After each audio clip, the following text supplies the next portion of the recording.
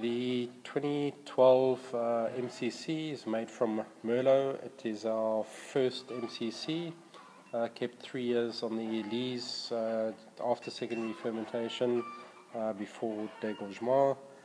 Um, this is only available from the cellar, only about a thousand, just over a thousand bottles made, part of our reserve range, um, also perfectly matched with oysters.